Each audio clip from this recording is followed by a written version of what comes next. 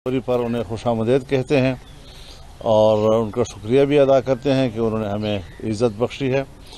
आप खूब आगाह हैं कि इस वक्त मुल्क की सियासत में एक हलचल है और इस हलचल में तमाम सियासी जमातें इस वक्त एक दूसरे से रबते में हैं। सूरत हाल से निमटने के लिए मुशावरत का अमल जारी है और ज़ाहिर है कि हर जमात की अपना एक नुक़ नज़र भी होता है अपनी एक सोच भी होती है। मुख्तलफ़ सोचों को आपस में तत्वीक देने के लिए और आ, उनके दरमियान एक मुनासबत पैदा करने के लिए इन मुलाकातों का आ, एक एक ज़रूरत भी होती है कि दरमियान एक मुनासबत पैदा करने के लिए इन मुलाकातों का एक एक ज़रूरत भी होती है। और ये हमारे सियासत का हुसन भी है तो इस हवाले से एम क्यू एम के क़्यादत भी यहाँ तशरीफ़ लाई और उन्होंने भी मौजूदा हालात के हवाले से चाह के कुछ मुशावरत हो जाए, कुछ हमसे सुना जाए, कुछ उनसे सुना जाए तो उस हवाले से खालिद मकबूल साहब आपसे कुछ इर्शादात फरमाएँगे। मौजूद साफ़ी हजरात कैमरा मैन असलम गुज्त दिनों हमने एक तो करीब आते हुए इंतबात भी और हमने तय किया था कि हम तमाम ही सियासी जमातों से मुलाकातों का एक सिलसिला शुरू करेंगे और उसी के बीच में ये नई उभरती हुई सूरत हाल भी सामने आई। तो हमारी इन मुलाकातों के हवाले से कवरेज भी और सवालात भी और अंदाज भी मुख्तलिफ़ हो गए। तो आज भी इस पर हम सबको तशवीश है। हम सब चाहते हैं कि जो नई सूरत हाल डेवलप हुई है, उनमें क्या हालात पैदा होने हैं और उसको किस तरह, इस तरह हैंडल किया जाए कि जमहूरीत को नुकसान ना हो।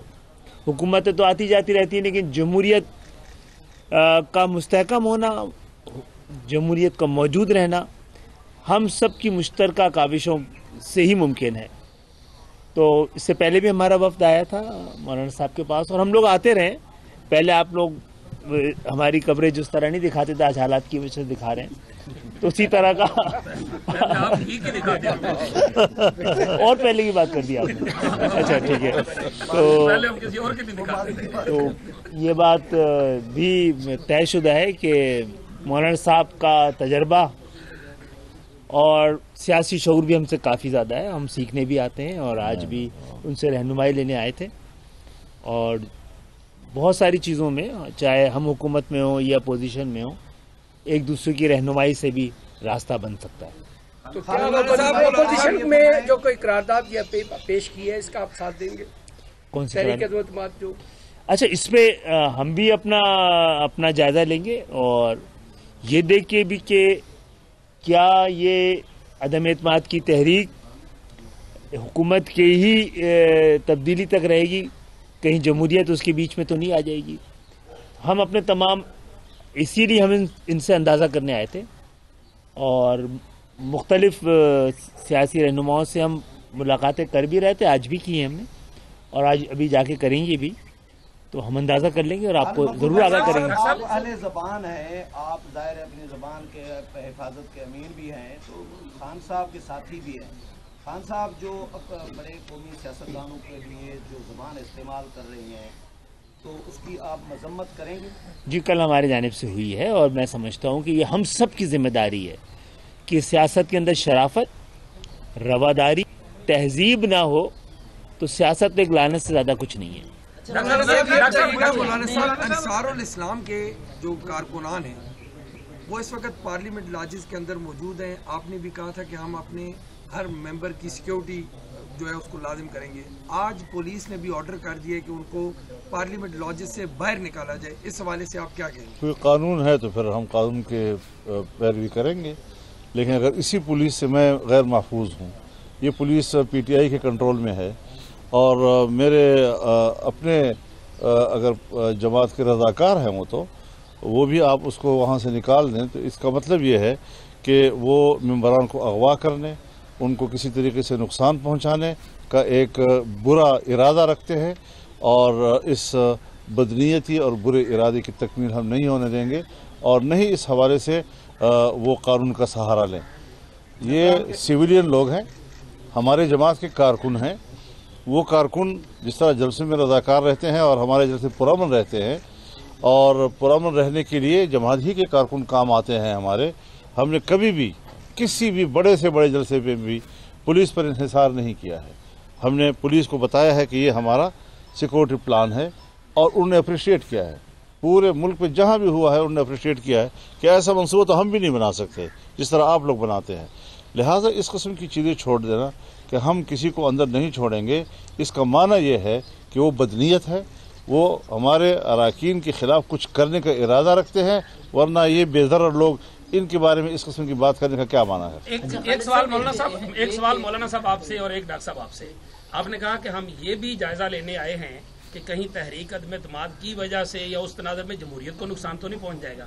एक इतला ये भी है कि तहादी हुकूमत के ये भी जायजा ले रहे हैं कि जब उनके, अपने उनके साथ ना रहे तो हम उनके साथ खड़े रहे तो हमारे पल्ले क्या रहेगा? एक बात, दूसरा सवाल मौलाना साहब आपसे, आज आपकी जो टाक हुई, आपने कहा कि जब अमेरिका अड्डे मांग ले तो क्या किसी में ज़रूरत है कि वो कोई इनकार कर सके?